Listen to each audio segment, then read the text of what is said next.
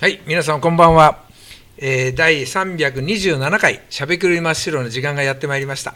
えー今日の真っ白はですね、朝から小雨でね、えー道路に積み上げられた雪もね、だいぶ溶けました。で、今もちょっとやっぱり、えー小雨っていうんですかね、雨降っておりましてね、えだんだん雪解けになってくるかなというふうに思います。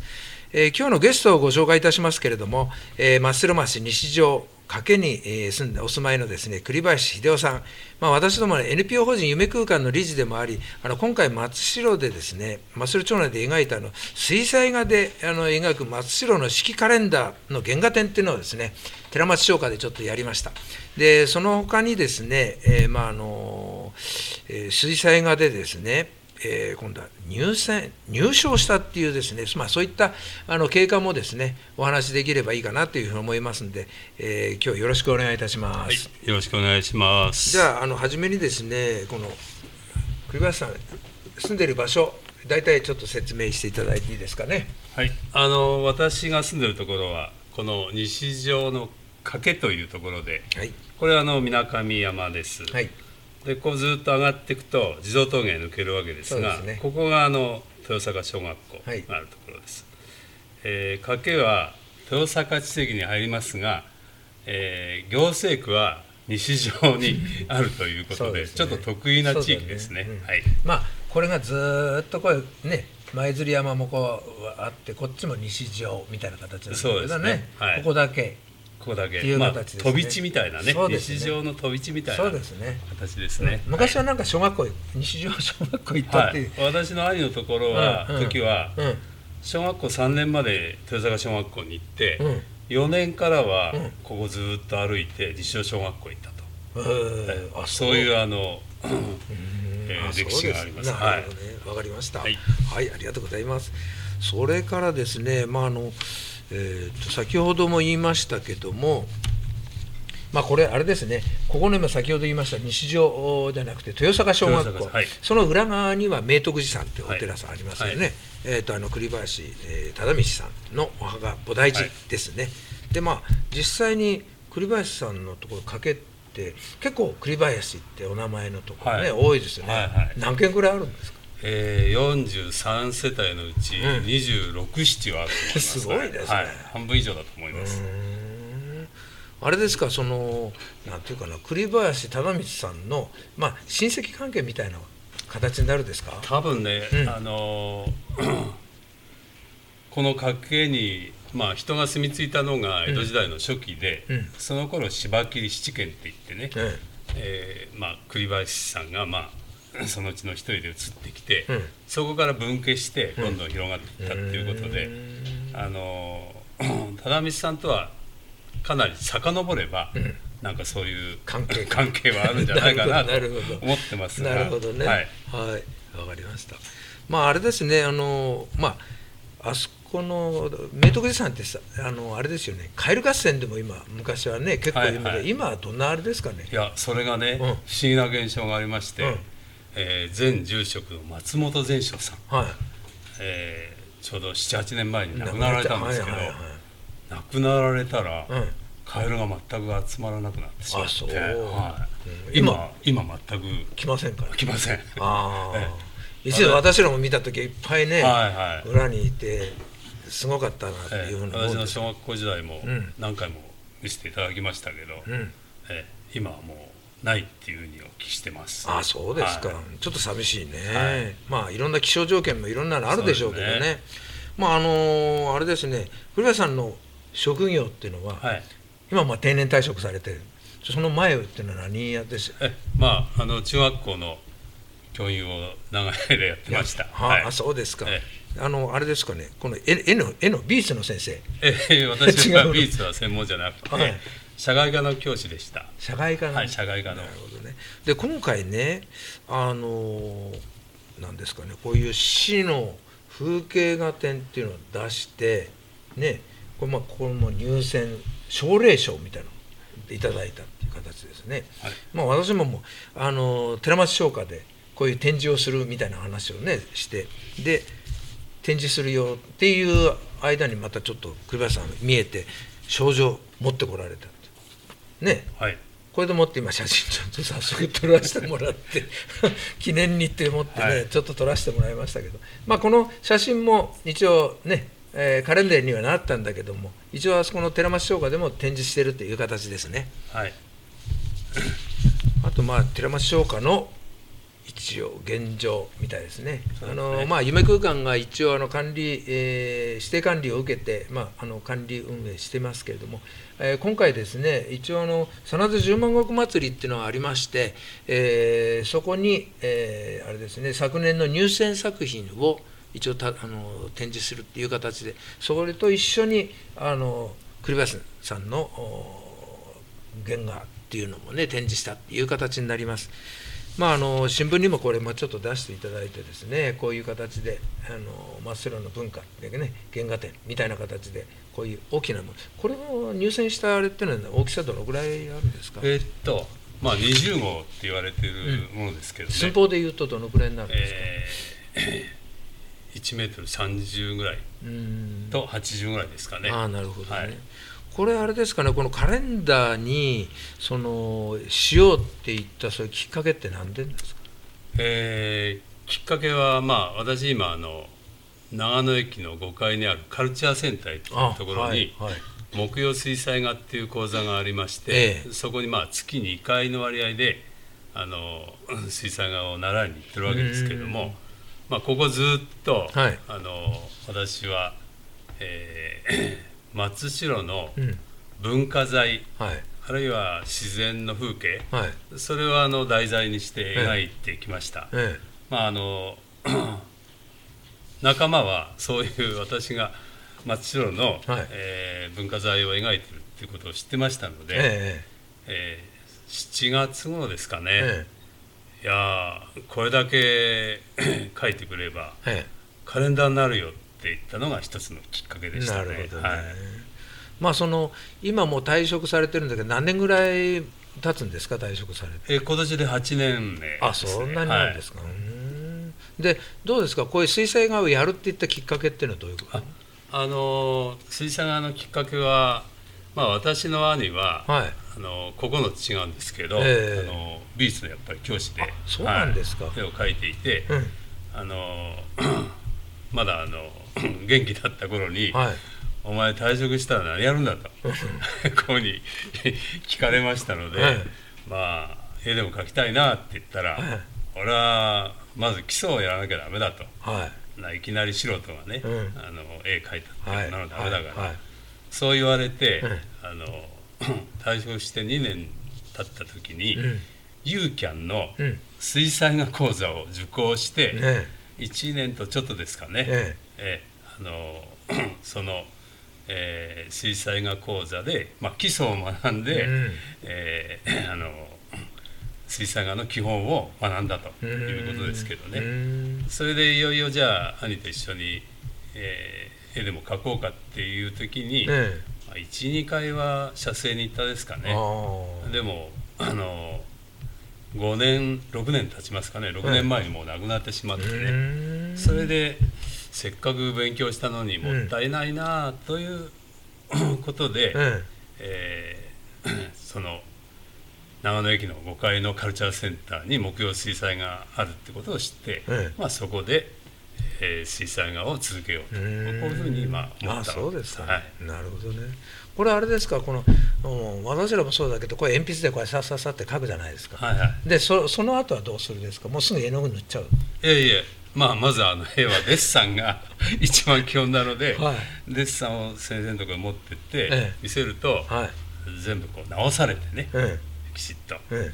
それでそのここを直してこいって言われてもう一回直してうん。それで持っていくとうん。またさらにまた注意されてうん。それで OK になったら初めてね色を塗ってもいいと。うん。そういうまああの段階をまあ踏んでうん。水彩画をまあ描いてるなるほどいうことですよね。あれですかねこれやっぱりあのただ見てたらダメなんで写真みたいなのも撮る撮ってこうくやるっていう形なんですかそうですね。あの現地で描く人もいますけれども、うん。そんなに私たちも時間ないので一応描きたい場面をうん。写真を撮って、うん。それを元にして絵を描く。あの構図を考えてうん。それでデッサンをすると。そんな手順ですね。あそうですか、はい。まああの今ここにあるあの大きなねあのあれもあるんだけども、えこれはあの何ですかね。えっ、と横田家か。そうですね。横田家住宅。あの横竹住宅を、まああの冬の横竹住宅ってやつちですね。ょうどね、3月のうん、こう季節外れの雪ですかね。ああなるほどね。降ってうん。あのしばらく経って溶け始めた頃の,、うん。あの風景を、うん。まあ、絵にしたものですなね。るほどね。あの私もあれ見るとあのその雪の白いところに木の影っていうかはい、あるじゃないですか。はい。すよくあの写真はねいろんなのあると思うんだけどまた絵でもこういうあれがあるとまたちょっと違うねっていうイそうメージある。ですね。まあ、空の方もねちょっといいなって感じはしますけども。これもやっぱりあれですかね何回も行ってみるような形になるんですか、えこれはね書いているとうん。例えばこの建物のはい。どこがどうなってるのかってことが分からなくなることがもうたびたびあるので、えそうするとまたそこへ足を運んで、え。えー その構造というかね、ええ仕組みをもう一回見たり写真撮ったりして、うんそれで、えー絵に描くようにしている。なるほどね。このあれですかね、あの今、ちょうどそこにあの症状を持ってきているんで、症状ちょっと入選あの見せていただいて、ああこれですかね。ね、それちょっと見せていただいてね、こういう感じ。はい。これはあれですかね、郵郵便かなんかで、あれですか、えー入賞しましたって、奨励賞になりましたって言ってくるですか。えこれはね、うん。あの作品を搬入した次の日、ねえ。ー電話が自宅にありましてね、はい。あの 入選したので入選とか奨励賞になったので、はい。えー次の朝9時20分頃うん。美術館に、うん。あの表彰式があるので来いとそういう連絡がまああったわけですけど、ね、その時どうでした？えーまあまさかというそういう人生には上り坂下り坂もう一つまさかがあるわけですけどうん。その一つだったなと。あそうですまかあ私がね、え絵習い始めて、はい。本当に78年しか経ってないもんで、ね そんな私が奨励賞のもらっていいのかなってういうー。ん思いとまあ嬉しさはありましたね。なるほどね。えこれ全部で何件何点ぐらい出たんですかね？これえ市のあれでは。えとね、一般の 作品が157点で言ってましたかね。はい。いやその中でって言ったらいいですね、えやっぱり勉強したせいですかね？えいや一番はね私ね、うんあの題材が良かったと思います。そうですか。真田うん。信行公のお玉屋、うん。あえちょっとそれ見せてもらっていいはいですかね、あのカレンダーにしたやつですけどねね。はいはい。これですはい。ね。はい。これはあの、昨年松代は真田丸で大いににぎわって、大勢の観光客が来たわけですけども、はいはい。そのあの真田丸のうん。にぎわいがまだ、あの 消えないうちに、はい。人々の意識の中にね、うん。あるうちに、うん。えー 真田信行公のお玉屋を作人してらしたっていうことで、ねえ。ーきっとそうした真田丸の影響がうん。多分にあって、ある可能性ある？それが評価につながったそうという可能性はありますね。そうかな。あの話題性があったっね、ああなるほどね、まあそれは大きかったんじゃないかなというふうに思いまあこうやってね 1,、えっと1月からこうやってずらーっと。まあこれあの松代の人だったらある程度あの見見られてね、えー分かってらっしゃる。まあ今これね先ほどそちらと同じあれですけどこういう形で。文あのこれ小山田先生のとこね。小山田ですね。ね。それからこれが、えーと影井影井亭ですね。真っ白うん文部学校の前でですね、これは彫刻寺さん。はい。これもまたいいですね。ちょうどね。梅雨時のねうん。彫刻寺の様子。あ先ほど言ったこれがお玉屋ですね。はい。これがこれがね、ええ。蓮城寺さんね。あの七面さんの後のあそうですそうですね、はい。うん終わった後ですかね。提灯がまだ残ってる部分ですね、これはこれはねえーと私の豊坂だね。掛けからちょっと下がったところの、うん。えー、面見倉さんあご覧になりますはいはいはいはいねそのちょっと下のところから。高台から見た景色あですね。なるほどね、はい、あとはこれあれだね十万石祭りですね、と11月はこれ、えーえー山寺定山亭ですね、はここもあの武家屋敷ですね。はい。はい。でこれが、えー、樋口家住宅、そうですね。えーえー真田邸のあ南側になりますけどね、はい。これもまた雪のあれですね。ちょうどねちょうどいいじゃ12ないです月かね。30日にね雪降って、まあ、うんなるほど。溶け始めたうん。頃の景色ですね、なるほどね。はい、ありがとうございます。えー、とそうしましたらですね、まあ、これでまあカレンダー一通り見ていただいて、まあ、これからの取り組みみたいななんか一言あったらお願いできます？はい。あのえー長野市あ松代町のね、はい。あの 文化財やそれから自然の風景、はい。これを中心にまあ書いてきたわけですが、はい。まだまだ松代にはたくさんのありますね。素晴らしい建物景色がたくさんありますのでそれをはい。これからもまあ書き続けていきたいなと。それでぜひねえ松代の 歴史や文化を、えはい。えー皆さんに感じ取っていただければありがたいなとそんなふうに思ってます。わかりました。まあ夢空間の取り組みと大体似たような感じになりますですね。一つまたよろしくお願いします。こちらこそ今日はどうもありがとうございました。はいよろしくお願いします。ありがとうございました。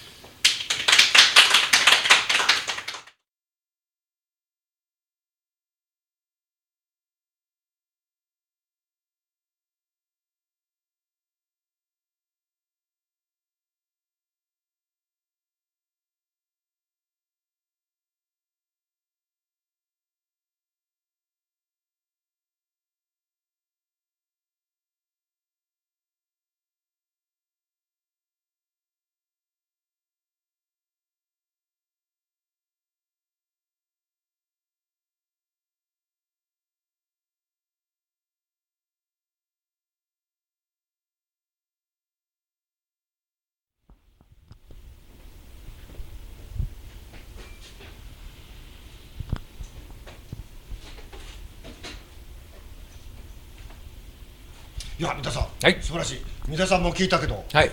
絵の先生ですって聞いたじゃん、うん。ねえ、いや私も見ててね、初めあ絵の先生かなと思ったら、違う社会の先生なんだね。素晴らしい、いいですね。頭のいい人はすぐにできちゃうんだねそうかもね。ね。まあ頑張って私らも真似できないな。できない、ね、はい。ということで、はい。一応ですね、えーこれはね2月の4日でね、はい。お知らせなんですけどそれ六平さんと歌いましょうっていうのでね、樋口家住宅で。これ毎毎回ね、えー毎月やってますけど、はい。またご参加いただければいいかなと思います、はい。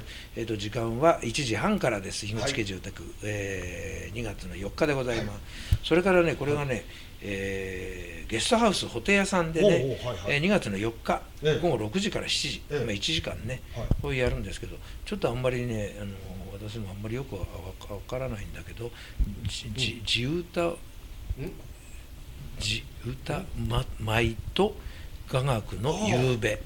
ちょっとすごいいんだよ。交渉なね、うん、そう。音楽ですね。そうですそうです。はあ。こうねちょっとやっていただくんですって。でお値段お値段500円で定員30名だっておっしゃってね。えーこれぜひね興味のある方は行っていただけるとね。直接ねこういう畳のところで、うん。うん直に聞けるというんでねちょっとまたいいと思います。はい。はい。そういうことでございます。ぜひね置いていただきたいと思います。はい、では続いて来週。はこのしゃべくり真っ白ね、はい。これ真っ白地域のお身近な交通公共交通についてっていうのでね、うん。まちづくりまちょっと噛んじゃった。まちづくり研究会のね幹事長の内山さん内山邦夫さんね。でうちの今度あのカメラ担当してる、えー片桐さんにあちょっとやってそちらにいらっしゃる。うん。片桐さんにやっていただける本人出て。ね。どうでしょう？はいどうぞ。えいい,、い、いよって。どうぞって言って どうぞだから来週まあゆっくりね あえそうですね。移っていただければいい来週お聞きすればいいですか、はい。大丈夫ですね。今どうぞなんてされちゃってね。まあ来週ゆっくりねあの聞いていただければいいかなというふうに思いますので、はい。よろしくお願いします。はい、それでは来週のしゃべくりマッシュよどうぞ。よろしくお願いします。お願いします